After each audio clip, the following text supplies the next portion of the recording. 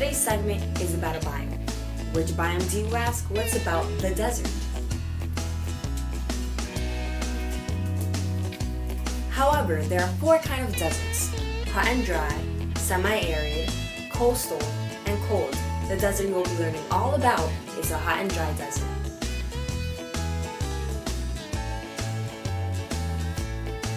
So let's get started learning all about the hot and dry desert. Hopefully by the end of the video, you guys will know a lot about the hot and dry desert. The definition of a desert is a landscape or region that receives an extremely low amount of precipitation. A desert usually gets less than 10 inches a year, although the amount does vary from year to year. They usually have very little rainfall and or they get a lot of rainfall in a very short time. And then there are long periods of time, especially in the winter, when there is no rain at all. Deserts cover about 20% of the surface of the earth. North America has four major hot and dry deserts, Chihuahuan, Sonoran, Mojave, and the Great Basin. Most hot and dry deserts are located near the Tropic of Cancer or the Tropic of Capricorn. Their temperatures range from 20 to 25 degrees Celsius. Summer temperatures in these deserts often reach 100 degrees Fahrenheit or higher. However, at night, temperatures may drop to 45 degrees Fahrenheit or lower. The plants that do live there have special adaptations that let them survive the hot temperatures and store water when there's little or no rain. One of these plants are the prickly pear cactus. Its genus name is Opuntia, while its species name is Phaya cantha.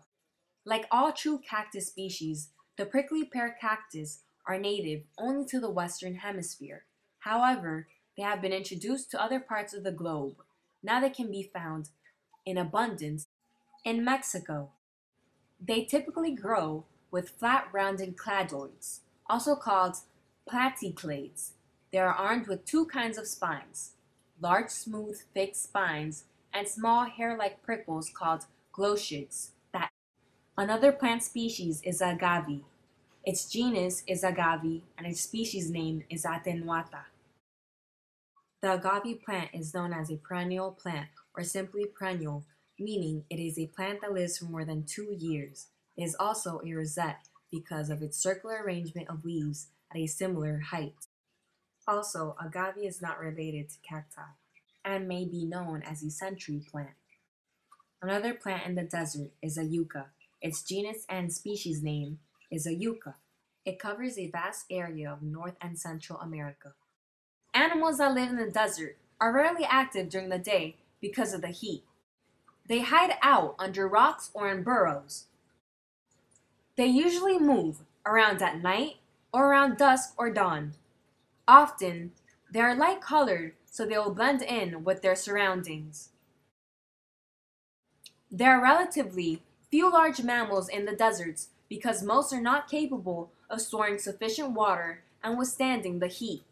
And as you all most probably know, the camel is one of the few mammals that are capable of doing so. Deserts often provide little shelter from the sun for large animals. The dominant animals of warm deserts are non-mammalian vertebrates, such as reptiles. Mammals are usually small, like the kangaroo mice of North American deserts. One of these animals are the roadrunner. Its genus name is Geococcyx, while its species name is californianus. The legendary roadrunner is famous for its distinctive appearance, its ability to eat rattlesnakes, and its preference for scooting across American deserts up to 17 miles per hour.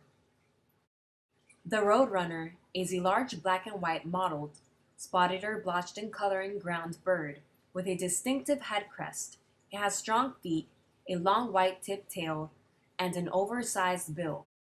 Another animal from the desert is a red-tailed hawk. Its genus is Buteo, and its species name is Jamaicensis. The red-tailed hawk is a bird of prey. The red-tailed hawk can acclimate to all the biomes within its range. It also displays sexual dimorphism in size, with females averaging about 25% heavier than males.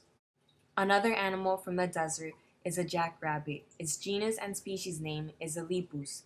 This white-tailed mammal is actually a hare, not a rabbit. Baby jackrabbits can run immediately after being born.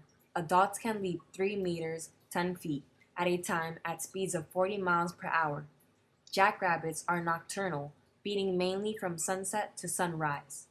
Jackrabbits are strong swimmers. If cornered, they'll dog paddle with all four feet. Species diversity compared to other biomes is quite low. And we're back from our hot and dry desert learning adventure. Hope you guys learned a lot and enjoyed the video. Hope to see you guys next time on more of my segments to come.